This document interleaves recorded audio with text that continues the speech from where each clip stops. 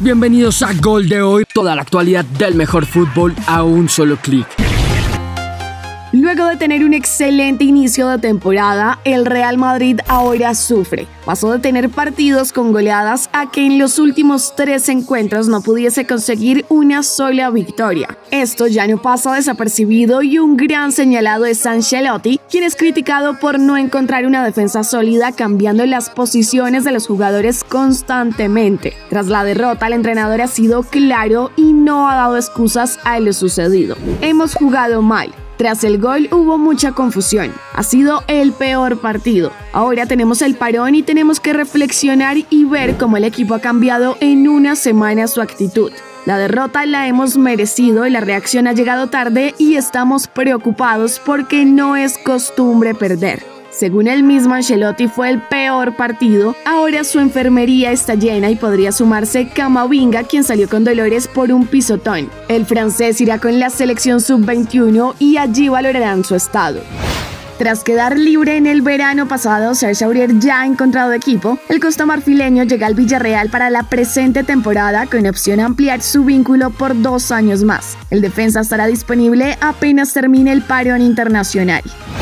No para el terremoto de críticas al PSG y la inestabilidad interna en el equipo. El partido de ayer ante el Ren ha generado aún más controversia y uno de los grandes señalados fue Neymar Jr., quien no tuvo un juego para destacar y fue reemplazado al minuto 76. Los palos de la prensa francesa van para él. Desde el equipo titulan Neymar nada bien y allí mismo realizan una encuesta preguntando si sigue mereciendo ser titular, a lo que la mayoría de internautas contestó no. Ahora las críticas externas hacia el club y los jugadores se le han sumado las últimas palabras de Kylian Mbappé en una entrevista para RMS Sport en donde el francés ha confesado su deseo de irse en el verano pasado pedí irme. Desde el momento en el que no quería renovar, le dije al club que quería irme. Quería que el club tuviera una indemnización importante por mi venta para que pudieran fichar a un recambio de calidad. El PSG me ha dado mucho, siempre he sido muy feliz los cuatro años que llevo aquí y lo sigo siendo.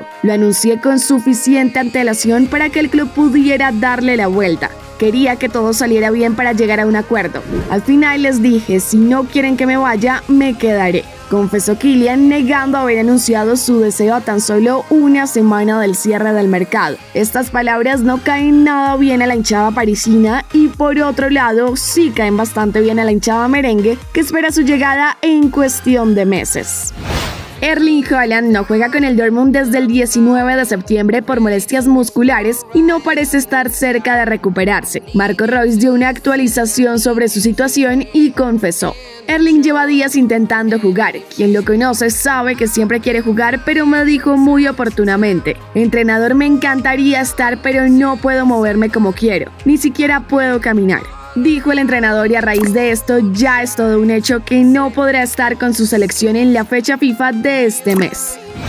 A pesar de que se ha rumoreado sobre el deseo de Robert Lewandowski de salir del Bayern Múnich, hoy el diario Bild en Alemania recoge una nueva información. Según este, Levy estaría muy a gusto en el Allianz Arena y ahora estaría esperando los primeros acercamientos para extender su contrato del 2023 al 2025. El Watford ayer destituyó al entrenador Cisco Muñoz y hoy ya tiene su reemplazo. Claudio Ranieri vuelve al ruedo con la Premier League en donde ha firmado por dos años. Koulibaly y Víctor Osimhen han denunciado mediante su Twitter que en el partido de ayer visitando a la Fiorentina fueron víctimas de comentarios racistas y hacen un llamado a combatir esta discriminación en los estadios.